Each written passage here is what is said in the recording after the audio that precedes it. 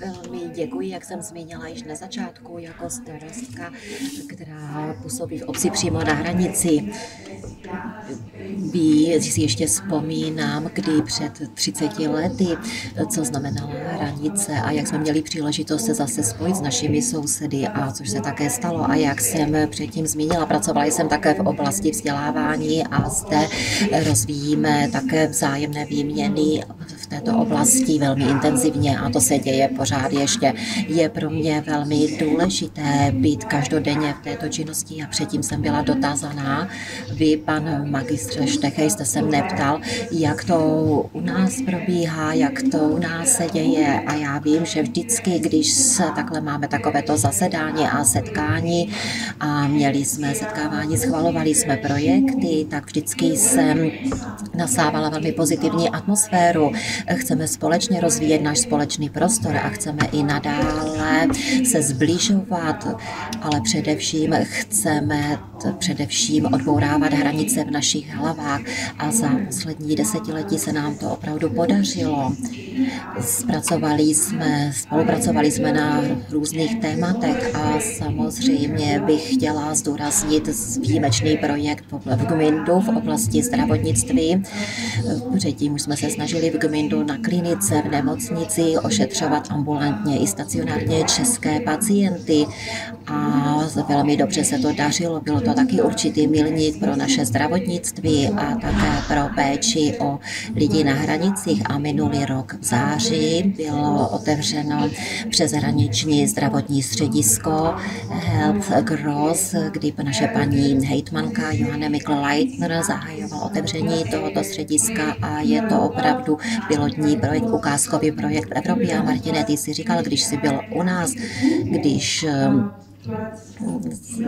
když svěřím někomu celé naše zdravotnictví, tak potom to opravdu znamená, že hranice padly a otevřely se. My samozřejmě máme také jiná partnerství v oblasti kultury nebo v oblasti spolku, spolky a obce nám předkládají různá témata a já vždycky, když se podávají, předkládají tyto projekty, tak mě to velmi těší a žasnu, jak kreativně dokáží být spolky a obce, například tak také v Gmindu eh, se realizuje spousta projektů, například eh, v partnerství obcí, jak se uskutečňují a jak velmi rozmanité jsou tyto projekty. A samozřejmě především slouží obcím, spolkům, ale především také lidem, kteří žijí v regionu chceme využít tady toto a v uvozovkách chceme vytvořit synergie tak, aby obě strany z tohoto získávaly své výhody.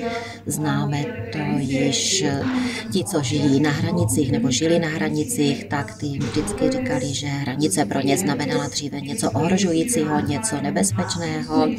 Vždyť zapomněli si třeba někdy vzít pas, když přecházeli přes hranice a pro nás se stalo nyní samozřejmostí, že přejištíme hranice do Česka, samozřejmě samozřejmě, že i Češi přijíždějí k nám do Rakouska a vidíme tento rozvoj i v cestovním ruchu. Cestovní ruch se velmi dobře rozvíjel na obou stranách hranice. Uskutečnilo se spousta projektů i v této oblasti cestovního ruchu. A propos, eh, nový, pro, nový program Fond malých projektů. Já jsem také s panem radním jsme se setkávali, kdy poslední dva roky jsme se tady nemohli moc setkávat kvůli pandemii a člověk tak nějak ztratil i pojem o čase, takže my jsme se před dvěma roky setkali v Sandpelnu a diskutovali jsme o tom, jak bude vypadat nový fond malých projektů, jak bude vypadat nový období a masivně jsme se zasazovali o to, abychom vyšli vstříc i přáním starostu a abychom do toho přijali investivní opatření. Víme, že projekty People to People jsou velmi důležité. Je velmi důležité, aby se lidé přibližovali a setkávali se, ale přání starostů chceme samozřejmě také splnit, nebo Martine, ty jsi to zmiňovali dále, víme, že určité procentní sazba nového dotačního období je důležité, aby v tom byly zahrnuté i investiční projekty. Víme, že tady tento investiční balík slouží jako důležitý nástroj pro rozvoj regionu. Co jsem si tady ještě poznamenala. Každý fond malých projektů pro nás znamená eh, menší nebo rozsáhlejší podporu spolupráce a společného zbližování, včetně společných akcí, které nám umožní více se zblížit. A musíme se opravdu také dále snažit o to, aby se nám dařilo eh, tento investiční balíček nebo finanční balíček pokud možno co nejlépe vyčerpat, ale o tom jsem také přesvědčena, protože vidím, že starosty, spolky, instituce se o to velmi snaží. A právě Dolní Rakousko, ty si tady uvedl ta čísla, my jsme zcela vpředu, také vždycky na zasedáních jsme, eh, máme hodně práce s podanými projekty a to je tak dobře, nechceme nechat ležet jen tak žádné peníze, ale chceme je využít pro naše regiony, pro náš regionální rozvoj. A zatím to si také v tomto smyslu a přeji vám dále i spolupráci na všech úrovních.